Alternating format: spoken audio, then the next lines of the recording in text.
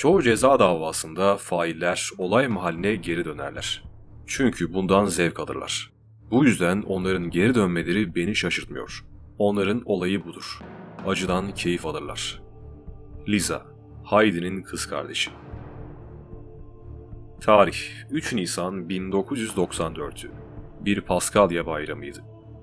18 yaşındaki Heidi Allen, New York Oswego kasabasında iki otoyolun kesiştiği bir noktada bir benzin istasyonundaki markette sabah vardiyasında çalışıyordu. Heidi önceki gece dışarıdaydı. Cumartesi gecesinde Heidi sevgilisi Brett'le beraber ailesinin evine gitmişti.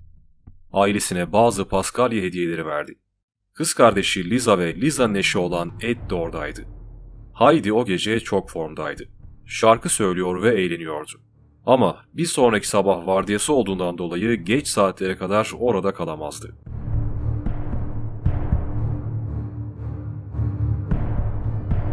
Heidi iki buçuk yıldan fazla bir zamandır o markette çalışıyordu.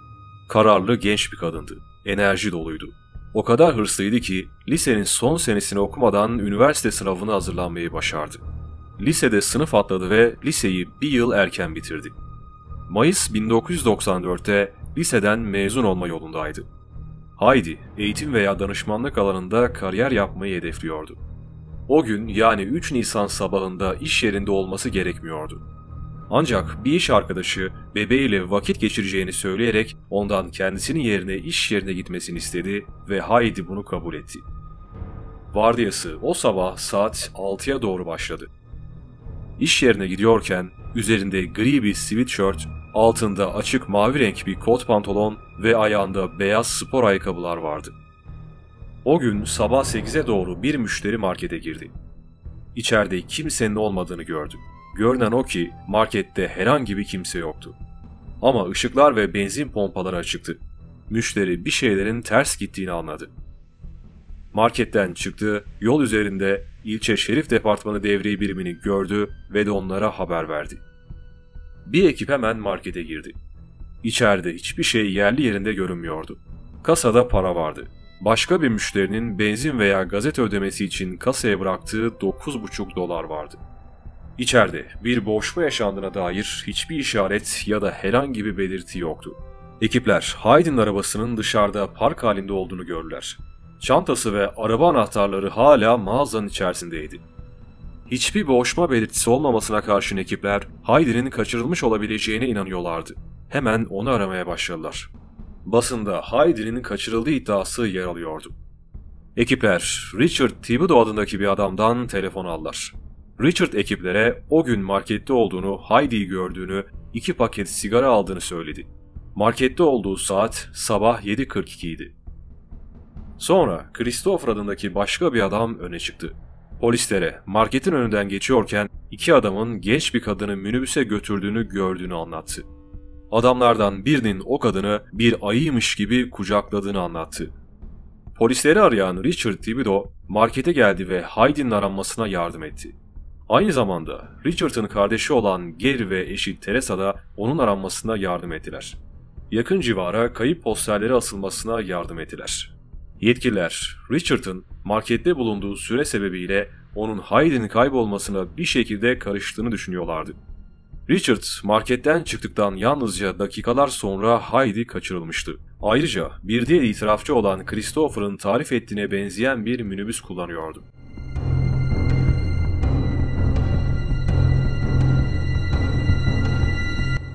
Polisler minibüsü aradı. Ancak onu veya minibüsü Heidi'ye bağlayan herhangi bir şey bulunamadı.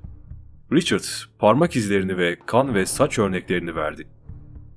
Yetkililerin Richard'ı gözetlemesi sebebiyle Heidi'nin kaybolmasıyla alakalı olarak Richard'ın kardeşi Gary de tutuklandı. O sabah markette bir minibüs gören görgü tanığı özellikle iki adamın o kadını kaçırdığını ve de minibüse bindirdiğini ifade etmişti. Yetkililer Gary ile bir araya geldiğinde Gary onlara o sabah sevgilisiyle beraber evde uyuduğunu anlattı. Sevgilisi bu ifadeyi doğruluyordu. Yetkililerin elinde herhangi bir kanıt yoktu. Hyder'ın nerede olduğu, ona ne olduğu hakkında hala bir fikirleri yoktu. Gary daha sonra bir yasaklı madde suçundan dolayı cezaevine girdi. o cezaevindeyken ekipler ona karşı bir dava açmaya karar verdiler. Geri cezaevindeyken iki mahkum Gary'nin kendilerine Heidi'yi kürekle öldürdüğünü, bedenini kimsenin bulamayacağı bir yere sakladığını söylediğini iddia ettiler. Bu andan sonra Gary ve Richard birinci derece insan kaçırmayla suçlandı. Onlara ayrı duruşmalar yapılması emredildi. Gary'nin duruşmasında Gary ve Richard'ın Heidi'yi 3 Nisan sabahında saat 7.40'da 7.45 arasında marketten kaçırdığı iddia edildi. Onu zorla Richard'ın minibüsüne binirdiler ve de oradan uzaklaştılar. Olayla alakalı herhangi bir fiziksel veya adli delil yoktu. Heidi hala kayıptı. Ancak savcılık zorlayıcı bir davaları olduğunu düşünüyordu. O sabah Gary'i marketin önünde gördüğünü söyleyen bir tanığı mahkemeye çağırdılar. Jüri, Gary'nin Heidi hakkında onlara söylediğini iddia ettiği iki mahkumun ifadesini dinledi. Duruşmada jüri, Heidi'nin o sabah kendi başına görev aldığını, yalnızca 13 dakika içerisinde hiçbir iz bırakmadan kaybolduğunu ifade etti. Kasada kayıt altına alınan son satış sabah 7.42 civarındaydı. Bu da Richard'ın satın almasıyla alakalıydı. Bir polis memuru bir müşterinin kendisine markette kimsenin olmadığını söylemesi üzerine mağazaya sevk görevlisi gönderdi. Yani sabah 7.42 ile 7.55 arasında Heidi kayboldu. Bu 13 dakikalık süre boyunca bir tanık marketin otoparkında bir minibüsün yanında iki erkek ve bir kadın gördüğünü ifade etti.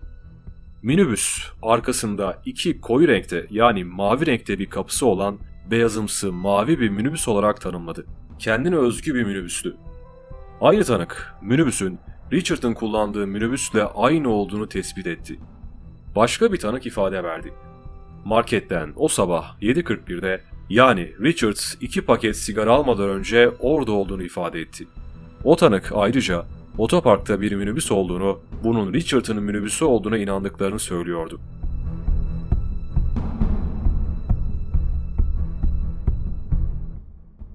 Richard'ı marketin içerisinde gördüler. Minibüsün içerisinde ikinci bir adam olduğunu düşündüklerini ifade ettiler. Minibüsün motoru çalışıyordu. Plakasının bir kısmı görünüyordu. Parça numarasının Richard'ın minibüsüyle uyum sağladığı ifade edildi.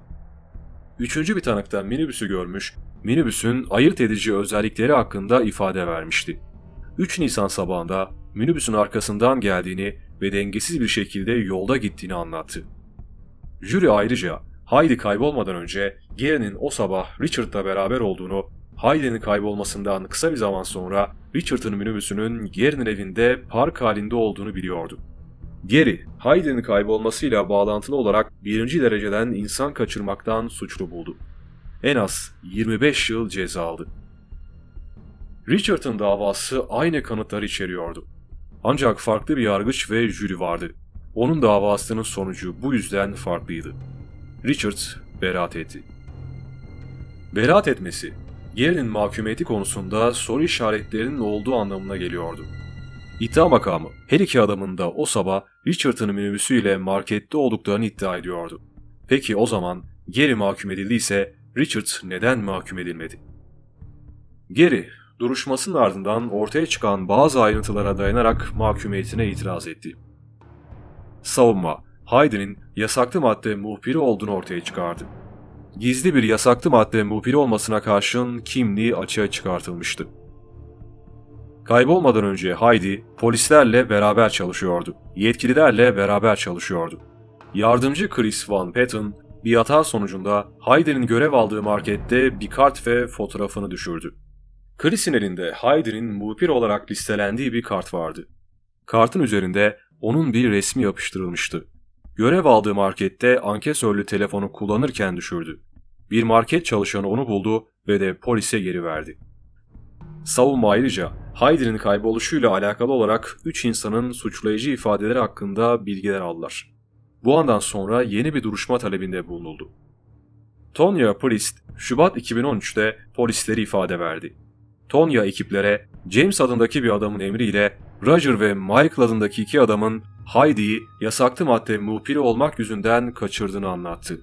Tonya, James'in o esnada Heidi'yi Roger'ın sevgilisinin karavan evine götürdüklerini iddia etti. Sevgilisi Jennifer Viscott'tı. Meksika'nın Asfigo ilçesindeki Rice Root'taki bir karavanda çalışıyordu. Tonya'ya göre James, Heidi'yi garajda öldüresiye dövdü. Sonra üçü onu yol boyunca sürükledi, bedenini parçalara ayırdı, kalıntılarını ise bir kulübenin döşeme tahtasının altına sakladılar. Heidi'nin kıyafetlerini kulübedeki odun sobasına koydular. Tonya, Jennifer'la yaptığı bir kavganın ardından bir telefon görüşmesinde bu anları kaydetti. Bu görüşme esnasında Jennifer Tonya'ya James, Roger ve Michael'ın onu kaçırdığını, minibüste kendi evine getirdiğini anlattı. Jennifer o kadının Heidi olduğuna inanıyordu. Polisin elde ettiği yeni ayrıntılar üzerine iki kabin arandı. Kulübelerden biri Jennifer'ın yaşadığı yerin hemen karşısındaydı. Polisler kabini aradığında kabinin zeminin yakınında bir bozulma olduğunu anladılar. Kadavra köpekleri ormanda çökmüş bir yapının yakınında insan kalıntılarının varlığı konusunda uyarı verdi. Ancak Adli Tıp Kurumu tarafından bölgede yapılan adli tıp incelemesinde insan kalıntılarına dair herhangi bir kanıt bulunamadı. Gerdin itirazı üzerine 3 adam da Heidi'yi kaçırdıklarını reddettiler. Richard adındaki bir adam temizde ifade verdi. Ailesinin yerel bir hurda işleme tesisi vardı. Geri cezaevindeyken kendisinin ve Roger'ın Gary'nin mülkünde çalışmayan bir minibüsü çıkardığını, aracı hurdaya aldığını anlattı. Bu minibüsün Heidi'yi kaçırmak için kullanılmış olabileceği düşünüyordu. Ama Richard, minibüsün bir kaçırma için kullanılmadığına inandığını, çünkü onu aradığını, hiçbir yerde bulamadığını ifade etti. James, hurda araçları Kanada'ya taşıyan bir işletmede şofördü. Bu işi aracılığıyla Richard'la birden fazla kez anlaşma yaptı. Roger James'e, James'in Kanada'da hurdaya çıkardığı bir minibüsün Hyder'in kaçırılmasıyla bağlantılı olduğunu anlattı. James, Hyder'in cesedini bir sürü ezilmiş arabayla beraber Kanada'ya götürdü. Ama o anlarda bunu yaptığını bilmediğini anlattı. Üç kişiden herhangi birisi Hyder'in kaybolmasıyla bağlantılı olarak suçlanmadılar. James, alakasız iki cinayetten dolayı ömür boyu ceza almıştı ve çekiyordu. Bir yıl süren duruşmaların ardından Gary'nin temiz başvurusu reddedildi. Kendisine yeni bir yargılama hakkı verilmedi. Yargıç, sunulan kanıtların yeni bir duruşma yapılmasını sağlayacak kadar güvenilir olmadığını düşünüyordu. Bu davanın başka birçok rahatsız edici yönü vardı. Davanın bir başka tuhaf yanı da üzerinde Hayden'in adının yazılı olduğu altın bir bilezikle alakalıydı. Hayden'in kuzeni olan Melissa bu bileziği Heidi'ye hediye etmişti.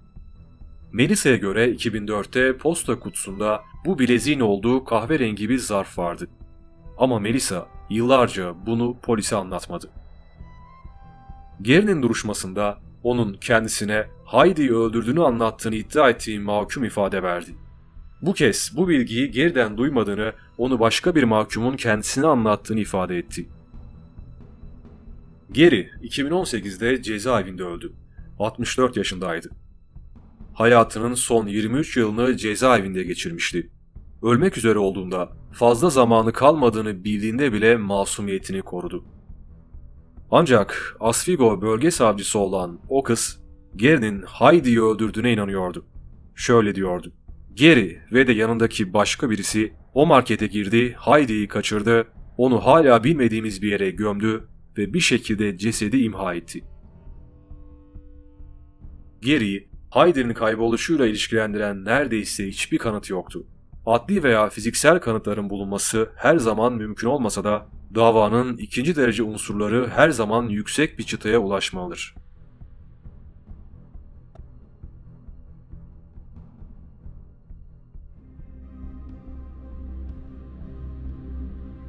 1983'ün sıcak bir yaz akşamında Sharon Winker ve sevgilisi Kevin Paul, Illinois Silver Creek'e doğru yola koyuldu. Aslında Sharon ve Kevin nişanlılardı. Daha önce birçok kez yaptıkları gibi balık tutmayı planlıyorlardı. Ancak bir sonraki gün Sharon eve dönmedi. Sharon'ın annesi endişeliydi. Saatler sonra evinden ayrıldı ve kızını aramaya karar verdi. Anne, onların balığa nereye gittiklerini biliyordu. Saatler sonra bir öğlen vaktinde Silver Creek'e vardı. Gördüğü manzara tüyler ürperticiydi. Damadı Paul başından vurulmuş bir halde bir ağaca bağlıydı.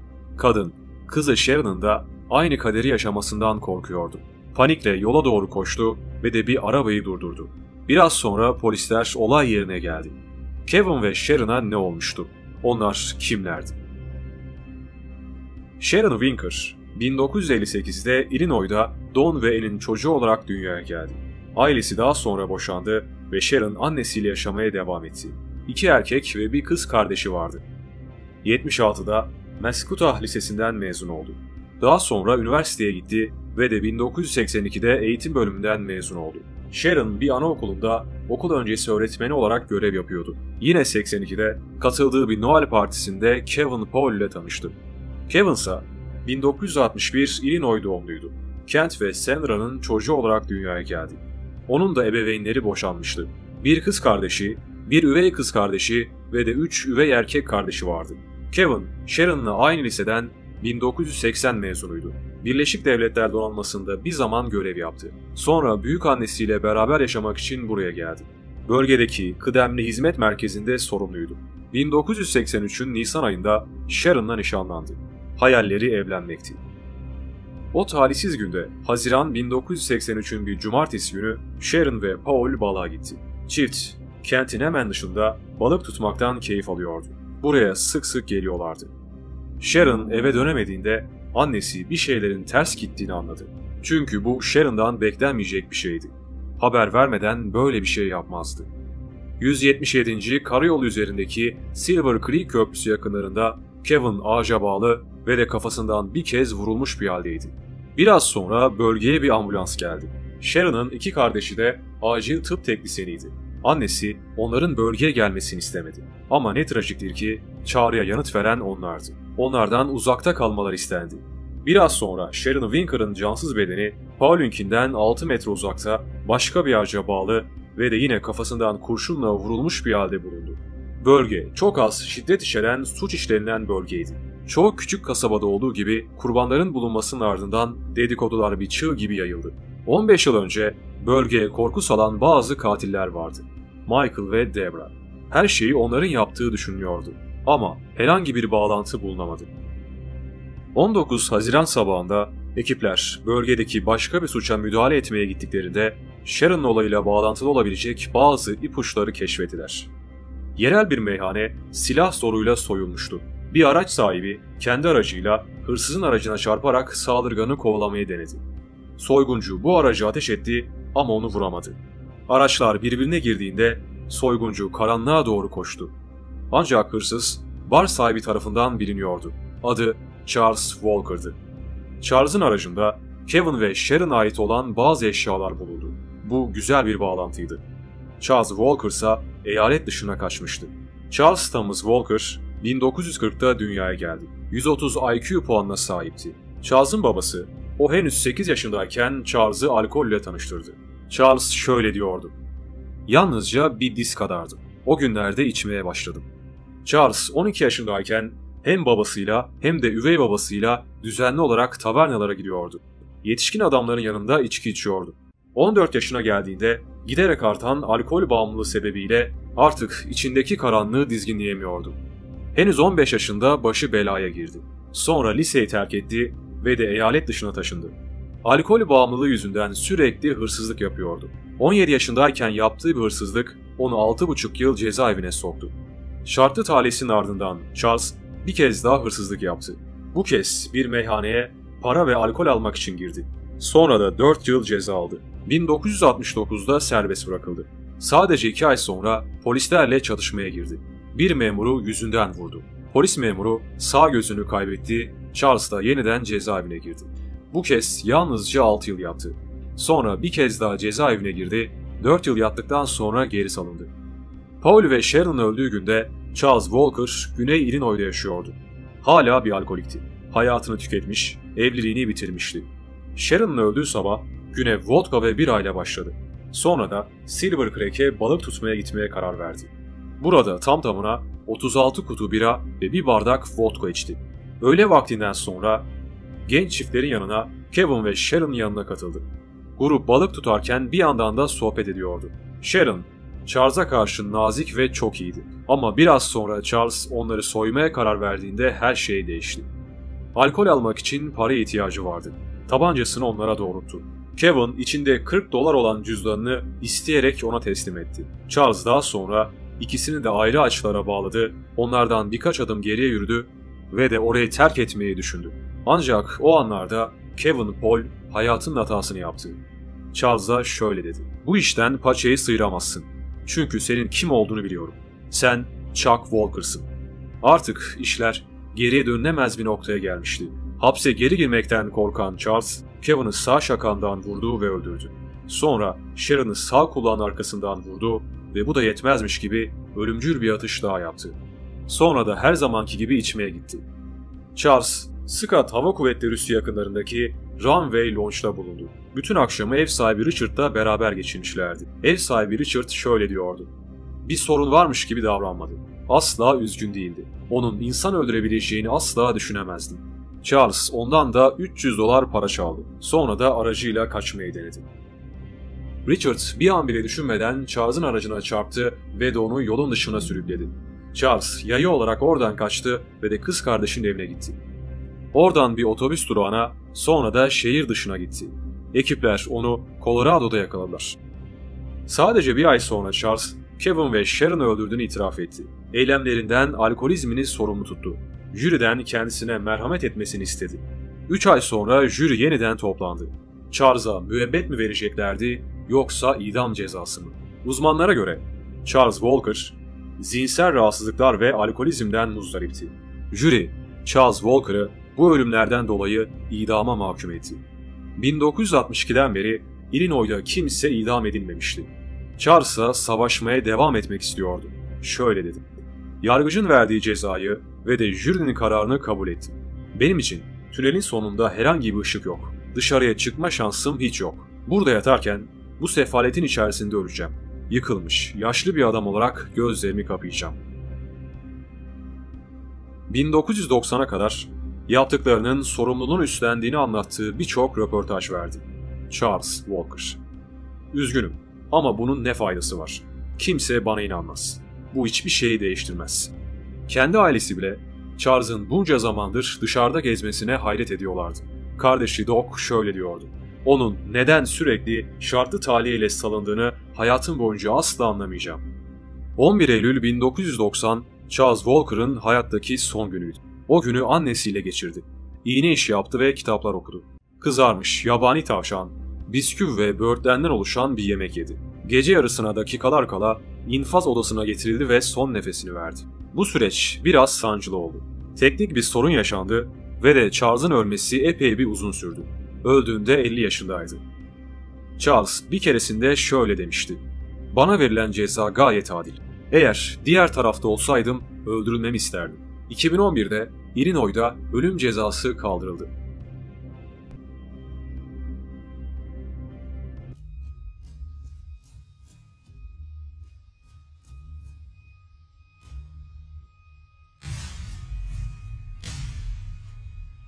Ryan Carter Poston, Ekim 2012'de Audrey Bolte ile buluşacaktı. İkili uzun bir zamandır çevrimçi sohbet ve mesajlaşmanın ardından ilk kez randevuya çıkıyorlardı. 29 yaşındaki avukat Audrey saatlerce Ryan'ın gelmesini bekledi. Ryan sonunda gelmediğinde Audrey umutsuzca evine döndü ve de bir daha ondan haber alamadı. Saatler sonra Ryan'ın öldüğü haberi yayıldı. Ailesi bir sonraki gün şöyle bir açıklama yayınladı. Onun ölümü pek çok insan için tarif edilemez bir zorluk. Ryan'ın tüm ailesinden, dostlarından ve de bizi tanıyan herkesten Ryan için dualar etmelerini istiyoruz. Ryan'ın mücadele verdiğini açıkça belirtmek istiyoruz. Bu ilişkiyi bitirmek için, hayatına devam etmek için elinden geleni yaptı. Ne yazık ki hayatı elinden alındı. Adalet yerini bulmalı. Peki Ryan nasıl ölmüştü? Onu öldüren kimdi? Ryan ve Shayna Hubers 2011'de Facebook aracılığıyla tanıştı. Shayna o tarihte 19 yaşındaydı. Bahar tatilindeyken Florida'da bikinili bir fotoğrafını paylaştıktan sonra Ryan o fotoğrafı beğendi. Sonra da Shayna'ya arkadaşlık isteği gönderdi. İkili yüz yüze buluştular. Bir süre sonra da sevgili oldular. Sosyal medyada paylaştıkları fotoğraflar onların sıradan bir çift olduğunu düşündürüyordu. Shayna, 2012'nin baharında Kentucky Üniversitesi'nden mezun oldu. Onu tanıyanlar çok eğlenceli, dürüst ve de samimi birisi olduğunu söylüyorlardı. Rice, Lauren adlı bir kadınla uzun bir zamandır ilişki içerisindeydi. Sonra araları bozuldu ve ilişkileri sona erdi. Ryan uzun bir zaman depresyondaydı. Shayna'yı tanıdıktan sonra onun için her şey iyi gitmeye başladı. Ryan'ın dostu Tom, Ryan'ı şöyle anlatıyordu. Çok iyiydi. Shayna'nın duygularını incitmek istemedi. Bir diğer arkadaşı Matt şöyle diyordu. Ryan hayatınızda olmasını isteyeceğiniz türden bir insandı. Sadece bir dost değil, sevgi dolu bir evlat, koruyucu, sevgi dolu bir abiydi. Ancak Shayna ise aksini söylüyordu. Onun fazla kibar olmadığını, aksine çok daha kötü birisi olduğunu, evinde dolu silahlar tutan, kontrolcü, tacizci bir erkek olduğunu anlattı. Shayna'ya göre Ryan onunla akıl oyunları oynuyordu. Ryan'ın komşusu Nicky Kearns da Ryan hakkında çarpıcı açıklamalar yaptı. Ryan bana her zaman bir göz estetiğine veya yüz gelmeye ihtiyacım olduğunu söyledi. Şişman olduğumu, biraz kilo vermem gerektiğini anlattı. Yine de onu her zaman severdim. Bana Shayna'yı çok sevdiğini söylerdi. Onun çamaşırlarını yıkar, köpeğini dışarıya çıkartır, gidip Shayna için yemek alırdı. Shayna için her şeyi yaptı. Shayna'nın annesi ise kızlarını şöyle anlatıyordu. Shayna kötü olmaktan uzaktır. Altın gibi bir kalbi var. Aynı annesi gibi. Sevgi dolu bir ruhu var. Tüm dünya bunu bilmeli. Ryan'a yakın olan insanlar için sorun Shayna'daydı. Ryan'ın eski kız arkadaşı Lauren şu açıklamayı yaptı. Shayna farklı bir insandı. İnsanlara gidip beni tanıyıp tanımadıklarını soruyordu. Ondan daha güzel olduğumu düşünüp düşünmediklerini sorardı. Ryan'a karşı bir saplantısı vardı. Zamanla Ryan'ın Shayna'ya olan sevgisi azaldı. Ondan soğudu ve ilişkilerini tamamen bitirdi. Shayna ise onu seviyordu. Onu kendine tekrardan aşık etmek için hedefi vardı.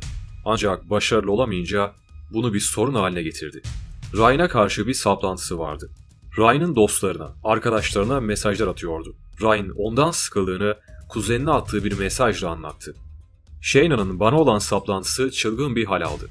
Daireme üç kez falan geliyor. Her seferinde ayrılmayı reddediyor. Beni iyice bunalttı. Shayna ise kendi arkadaşlarına yazdığı mesajlarda duygularını şöyle anlatıyordu. Çok kötü hissettiğim için benimle olacağını söylüyor. Aşkım bir nefrete dönüştü. Shayna bir başka dostuna şöyle bir yazı gönderdi. Bu gece Ryan'la poligona gittik. Arkamı dönüp onu vurmak, öldürmek ve her şey bir kazaymış gibi süs vermek istiyorum.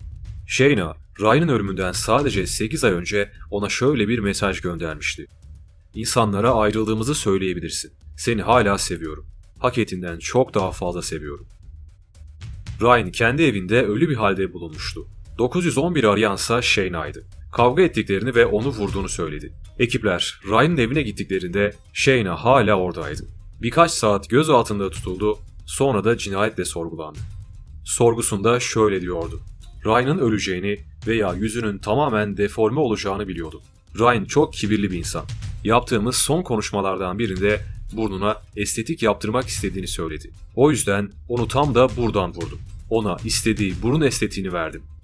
Shayna'nın söylediği pek çok şey kaydedildi. Bir an şöyle bir şey söyledi. İnsanlar sevgilimi nefsi müdafaa için öldürdüğümü bilseler benimle evlenmek isterler mi? Bu oldukça komik. Shayna bir an şarkı söyledi. Odanın içerisinde dans etti. Parmaklarını şaklattı. Başardım. Evet, başardım diye bağırdı. Shayna, Ryan'a günde 50 ile 100 kez mesaj atıyordu. Bu hararetli ilişkilerine karşın Ryan ve Shayna yazın yeniden bir araya geldi. Ancak Ağustos sonunda Ryan ona bir daha gelme, telefonu kapatıyorum, kapıyı da kilitleyeceğim diye mesaj gönderdi. Araları bozuldu. Sonraki 9 saat içerisinde Ryan'a en az 100 kez mesaj gönderdi. Ryan ise bunların hiçbirisini okumadı. Mesajlar Shayna'nın Ryan'a takıntılı olduğunu gösteriyordu. Annesi Sharon'a göre Shayna ve Ryan, Shayna'nın annesi ve üvey babasının evinde vakit geçirdi. Ardından da Shayna ve Ryan, Ryan'ın evinde kaldı. Shayna'nın annesi, Ryan'ın kızından ayrılmak istemediğini düşünüyordu. Ryan'ın yaptıkları, Shayna'dan ayrılmak isteyen birisi için tuhaftı. Ryan onu kolayca hayal kırıklığına uğratmaya çalışıyordu. Ancak Shayna hala Ryan'ın evinin anahtarına sahipti. Shayna 12 Ekim günü saat 21 civarında 911 aradığında görüşme kaydına göre operatöre sevgilimi nefsi müdafaa esnasında öldürdüm dedi. Beni dövdü. Beni evden çıkarmaya çalıştı. Eşyalarımı almak için geri geldim. Tam önümde durdu. Uzanıp silahını aldı. Bana doğrulttu. Ben de tuttum, elinden aldım ve tetiği çektim. Toplamda 10 ile 15 dakika sürdü. Shayna aslında ilk olarak annesini aradı. Annesi kızına polisleri aramasını söyledi. Shayna gözaltına alındı. Hakları okunduktan sonra bir avukat istedi. Yetkililere şu soruyu sordu. Eğer cezaevine girmek zorunda kalırsam orada duş alabilir miyim? Yoksa gerçekten de kirli bir halde mi gezeceğim? İfadesinin bir noktasında şöyle dedi. Ryan bana birçok kez silah çekti. Ryan'ı nefsi müdafaa için vurdum. Çünkü bana şiddet uyguladı. Kafamı yatak başlığına çarptım. Ölebilirdim. O da ölebilirdi. Shayna 2014'teki bir kefalet duruşmasında şunları anlattı. Çok şey yaşadım.